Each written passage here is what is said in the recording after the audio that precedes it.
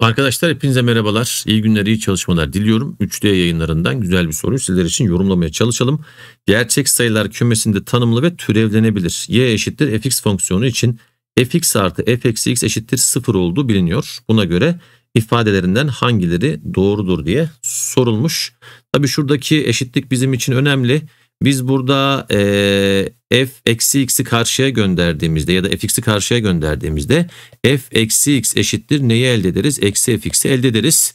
Tüm x'ler için bu geçerli olduğundan bu bizi aslında neye götürecektir? Tek fonksiyona götürecektir. Tüm x'ler için bu özellik sağlandığından fx'in tek bir fonksiyon olduğunu ne yapabiliriz? Söyleyebiliriz.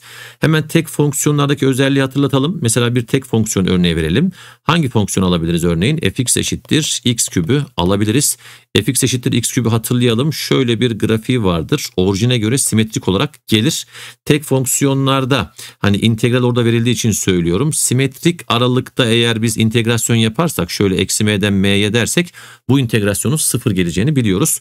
Çünkü buradaki alana a dediğimizde buradaki alan da a gelmiş olur. Dolayısıyla biz burada eksi m'den m'ye fx dx dediğimizde e, x ekseni altındaki a integralimize negatif katkı yapar. Eksi a olarak üstteki de artı a gelir. Eksi a artı a biz neye götürmüş olur? Sıfıra götürmüş olur.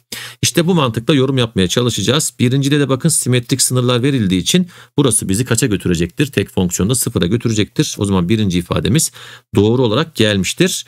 Birden sonra mesela hani x küp örneğini de verdik. Şu ikinci doğru mu diye bakalım. Mesela biz fx e, özel olarak burada x küp olarak bir örnek vermiştik.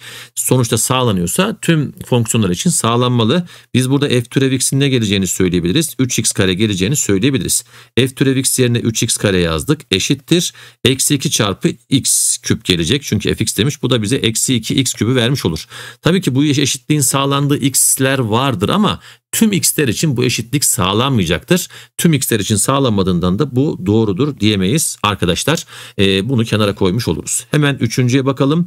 Üçüncüde f türev x çarpı f türev eksi x büyük eşittir sıfır demiş. Şu yukarıyı ben bir ele almak istiyorum. Biz neyi bulduk? f eksi x eşittir eksi f x'i bulduk. İki tarafında türevini aldığımızda buranın türevinden f türev eksi x bir de için türevinden şöyle eksi gelir. Karşıda ise eksi f türev x'i ne yapmış oluruz? Elde etmiş oluruz. Şu x'ler birbirini artı artı yapar.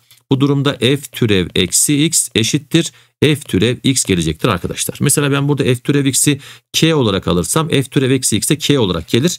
Yerlerine yazdığımda burası da k'dir burası da k'dir. Buranın çarpımı k'nin karesi yapar. E şimdi k negatif de olsa pozitif de olsa sıfır eşit de olsa karesi büyük eşit sıfırı bize verecektir. O zaman üçüncü ifademiz doğru olarak gelmiştir. Baktığımızda 1 ve 3 doğrudur. 2 her zaman sağlanmayacaktır. Onun için doğrudur diyemeyiz. E, bu durumda da doğru cevabımızı D şıkkı 1 ve 3 olarak bulmuş oluruz. Bence çok güzel bir soru, sınav ayarı bir soru. Umarım çözümde açıklayıcı olmuştur.